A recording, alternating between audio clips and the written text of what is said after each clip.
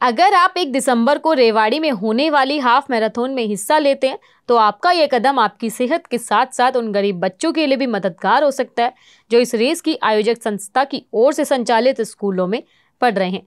Half marathon की यह पहल हो रही है माइल्स टू एजुकेट संस्था की ओर से। मैराथन तीन कैटेगरी में आयोजित होगी। आज छह नवंबर को इस सिलसिले में हाफ़ मैराथन के मुख्य आयोजक, माइल्स टू एजुकेट संस्था के पदाधिकारियों व इस आयोजन में स्पॉन्सर्स बने गणमान्य लोगों की ओर से प्रेस वार्ता का आयोजन किया गया। संस्था के प्रधान सचिन शर्मा ने बताया कि माइल्स टू एजुकेट संस्था रेवाड़ी की उन जरूरतमंद बच्चों की पढ़ाई लिखाई का सारा खर्च उठाती है, जो निर्धनता के कारण पढ़ नहीं पाते। इस समय माइल्स टू एजुकेट के तीन स्कूल चल रहे हैं। कुछ स्थानों पर बच्चों को कोचिंग भी दिलाई जा रही है।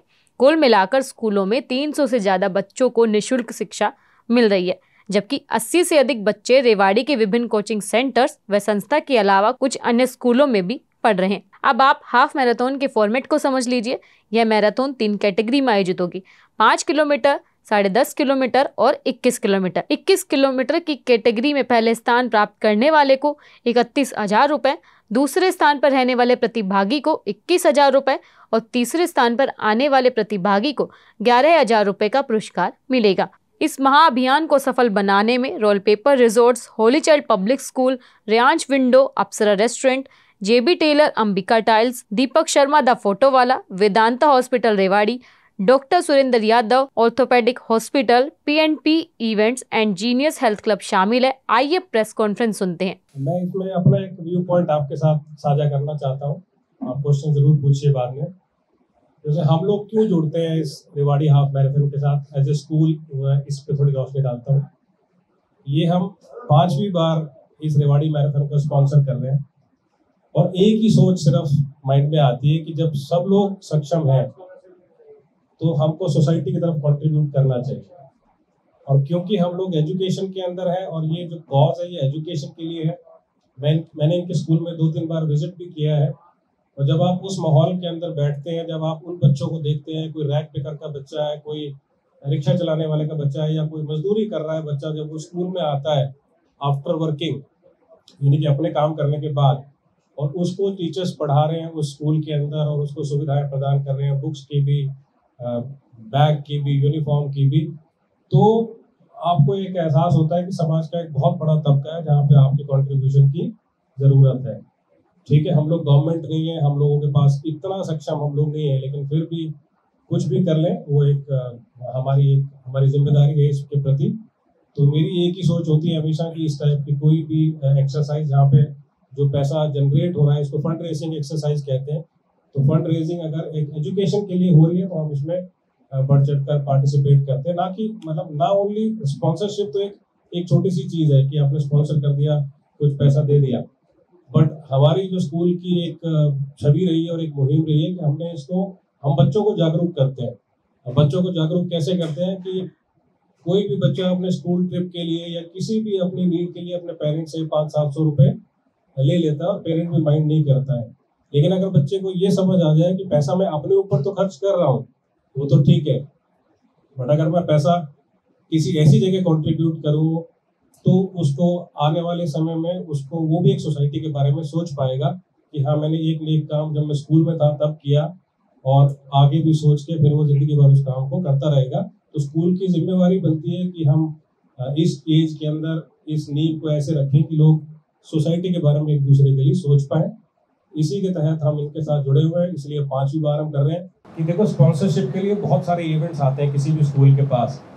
बट मुझे टीम आर फोर पे बहुत बड़ा विश्वास है कि ये जो टीम है, एक तो ये कोई भी खर्चा जो अपना पर्सनल है, वो कभी भी टीम आर फोर की ऑर्गेनाइजेशन के ऊपर नहीं डालती है। और एक एक पैसा जो इसे ये कमाते हैं और अपनी कॉन्ट्रीब्यूशन से ये करते हैं, वो सारा इन बच्चों के एजुकेशन में जाता है। तो ये एक बहुत बड़ा ट्रस्ट फैक्टर है इनके ऊपर, और ये एक बहुत बड़ा कारण है हमारे इनके साथ जुड़े रहने हम एक ऐसे प्लेटफॉर्म पे सब लोग इकट्ठे हैं जो रिवाड़ी को शायद साल में एक ही बार ही मिल पाता होगा।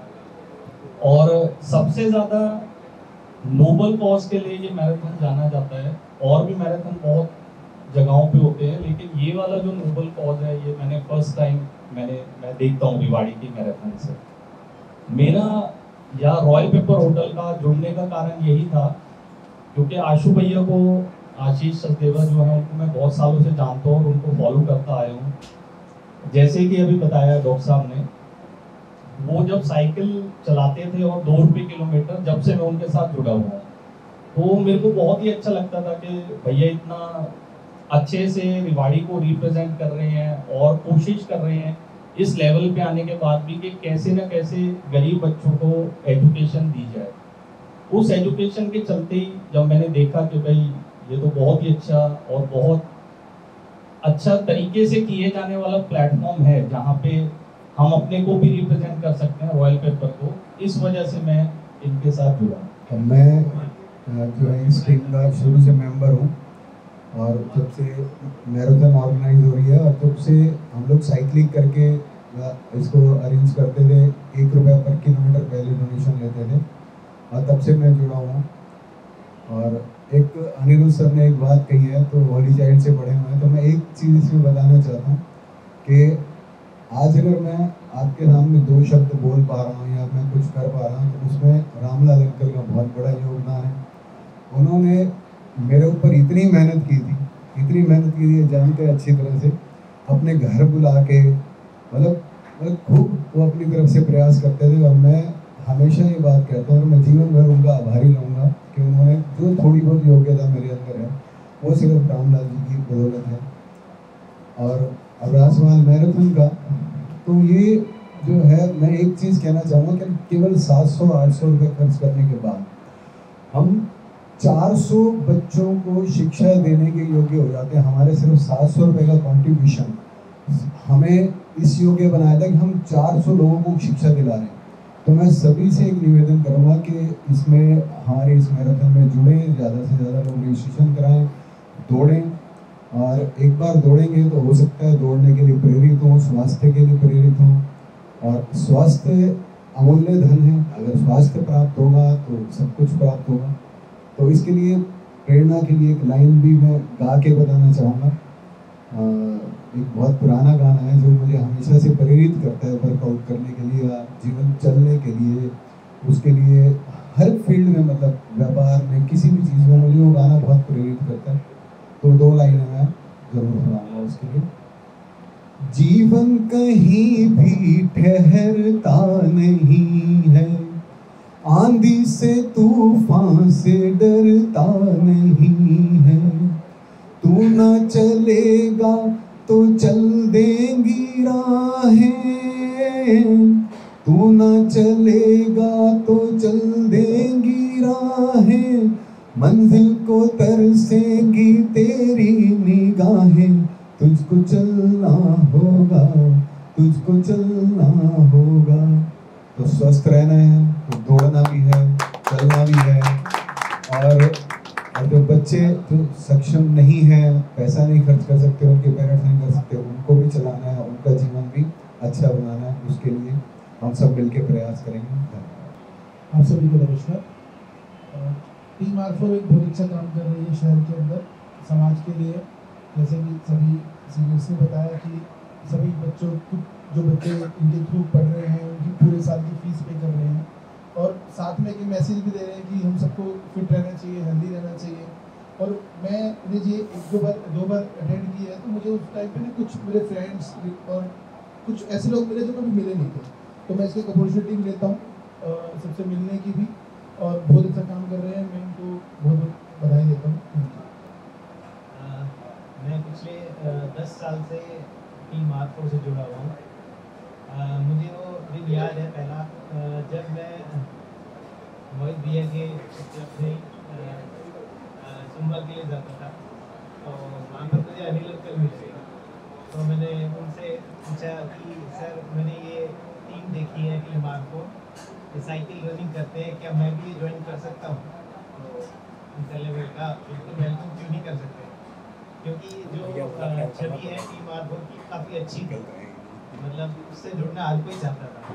तो उस दिन, था वो दिन जो मैं टीम आरपू से जुड़ा और आज शायद उसको दस साल हो गए और माइल्स एजुकेट से भी हम काफ़ी टाइम से जुड़े हुए हैं। पिछले लगभग चार पाँच महीनों से हम बोटल स्पॉन्सर करते आ रहे हैं और कोशिश करेंगे कि आगे भी ऐसे चलता रहे।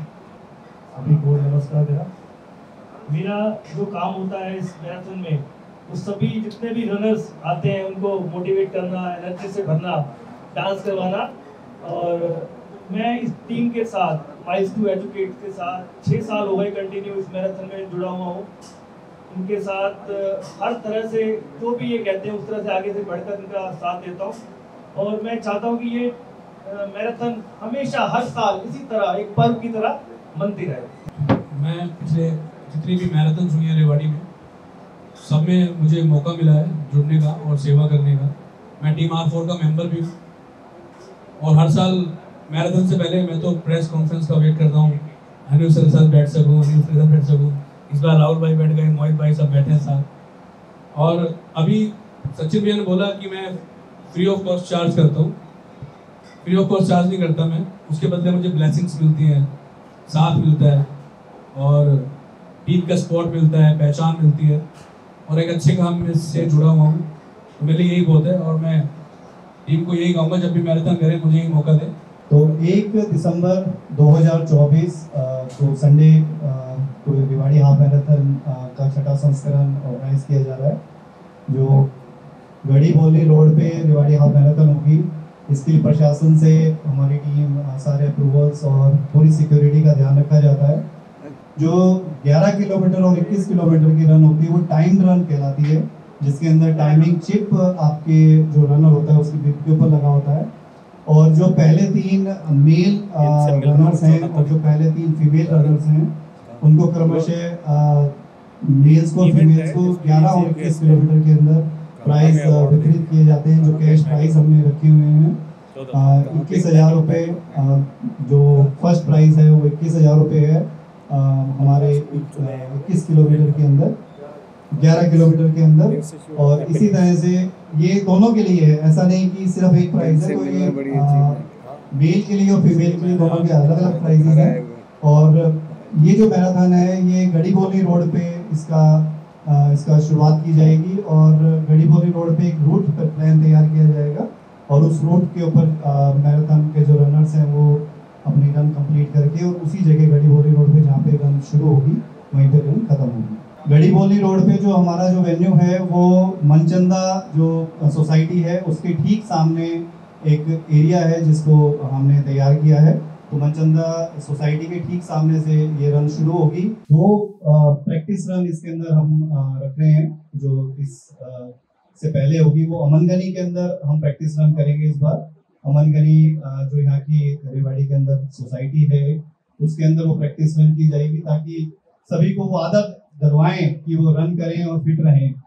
तो वो दो प्रैक्टिस रन हम आने वाले समय में अमन गली के अंदर करने जा रहे हैं। कुछ चीज़ों पे संस्था ने ध्यान रखा है, जैसे फैसिलिटीज़ मैं बात करता हूँ टॉयलेट्स की। रनर्स हम बड़ी से बड़ी मैराथन में जाते हैं, वहाँ पे टॉयलेट्स नहीं होते हैं। यहाँ पे वेल एस्टेब्लिश एक toilet facility male female separately वो रहेगा वहाँ पे। प्रॉपर पार्किंग का एरिया रहेगा।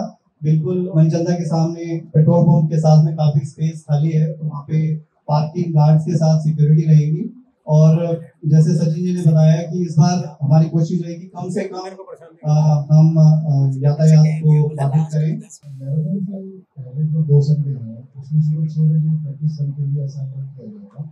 और वहाँ से डिस्टेंस के हिसाब से जितना टाइम घंटा एक घंटा लगेगा उसके अंदर उसको करेंगे अभी लगभग ढाई हज़ार रजिस्ट्रेशन के ऊपर और टारगेट हमारा चार हज़ार। ट्वेंटी फिफ्थ नवंबर सभी अरेंजमेंट्स सर चाहे एक गाड़ी चाहे हज़ार गाड़ियाँ हो पूरे अरेंजमेंट्स जो वेन्यूज पर हमने बनाया गया उसी के सामने पार्किंग की पूरी अरेंजमेंट की गई है। प्रॉपर गार्ड्स के साथ पार्किंग होगी और सेफ्टी होगी। इस बार हम पायलट चौक से बंद नहीं करवा रहे हैं इस बार हम कसोला से पहले और पायलट चौक को दोनों को ब्लॉक कर देते थे इस बार हम उसको ब्लॉक नहीं कर रहे हैं। हम सिर्फ़ तीन किलोमीटर का एरिया सिंगल साइड का ब्लॉक करेंगे इस बार। बाकी का ट्रैफ़िक चलता रहेगा। कोई इस बार ब्लॉक नहीं करेगा।